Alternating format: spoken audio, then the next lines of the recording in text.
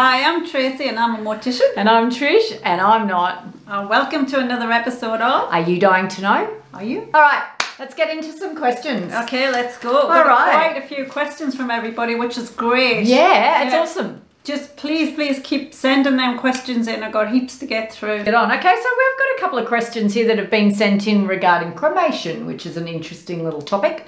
A lot of us are choosing to be cremated these days. First question Do cremation ashes get mixed up? Uh, that's a question I get asked quite a lot. Do you actually get the ashes of your own person? Because you wouldn't know.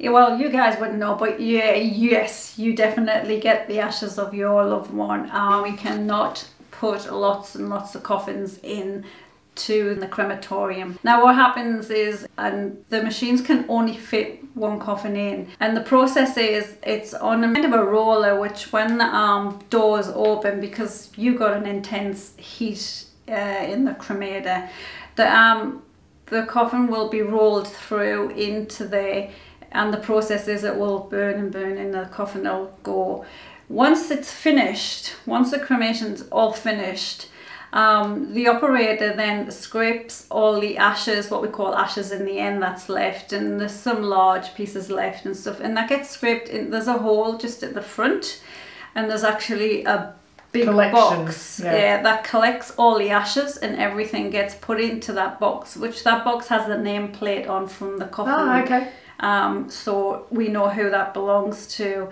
and that gets processed in another room to go down and get pulverized into tiny ashes, and then we can then put a next one in. Now it is cleared out, and yeah, we can only do one at a time.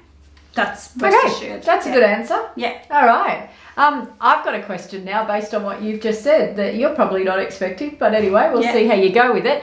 And my question to you is how do they pulverize everything down? Okay, after uh, all the ashes are scraped and the larger pieces, which is usually bones, Like femur, that sort of thing, big bones? Yeah, the big bones are, are not cremated right down, uh, still sizable pieces. So uh, they get taken, scraped into this big box, which is then transferred into a new, a different room, and it's put into a machine that basically looks like a washing machine. It's a big drum machine that has um, ball bearings in, but big ball bearings in, and it's spun All right. and that just Smashes it all. pulverizes everything down to ashes uh, to make anything. But if anybody's got artificial limbs like uh, titanium hip replacements or knee joints, they're still solid. Uh, they get taken out and obviously put to one side. You know. Do the family get them back? I suppose if they request them back, they could Yeah. possibly get them back. But yeah, but that's how we get them ashes down to the fine Okay. ashes that you get. Yeah. Then you get your person back. yes. Okay, so next question came in the other day. How long does a cremation take?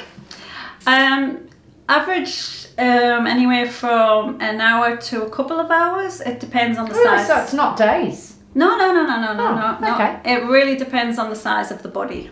Oh, The average, like me and you, might take Maybe an hour to two hours. But once you start getting bigger and you know you get really really large and you get into the obese side of people, it can take you know four or five hours. and how do they know it's done? Um, the machine um, is all programmed, and I'm not quite exactly sure of how, but there's actually a peephole in the, uh, the door, Uh huh. uh, and you can clearly see there's nothing left. It's a good one, actually, yeah. Excellent. All right, can a family watch a cremation? Is another question that came into us. Yeah, and yes.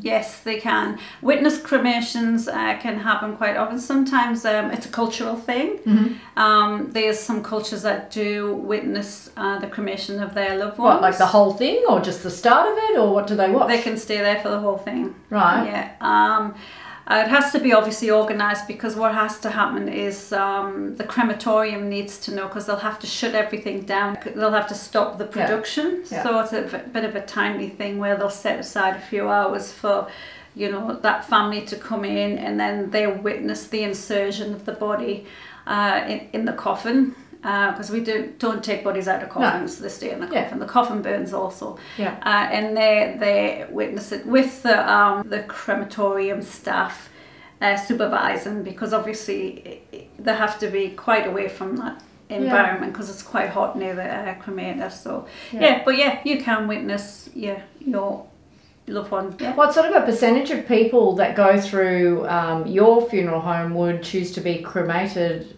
over over being buried? Uh, I think it's uh, probably a 70 30%. Cremation. Yeah. Really? Yeah, most people get cremated these Is days. that because it's cheaper? It is cheaper. Yeah. Yeah, because when you're buried, you've got to buy a burial plot. It's like buying real estate. Yeah. It costs a lot of money, and then you have the upkeep of that plot of land. And also, if you're being interred into a mausoleum or anything like that, you have to buy that and Yeah. you have to maintain it. So it's a costly um, process being buried. So, and land, I know Australia is a big country, but land, you know, is running out in other places. So cremation is taking over burials. Yeah. Okay, so that's cremations in a nutshell. But if you guys have got any questions, don't forget, put them below, Yeah. like this video and Like, subscribe. Like, yeah, subscribe, share, share, share. Because everybody wants to see Calvin and his multitude of hats. All right, guys. Thank See you next time. Bye. Seal, hit, action.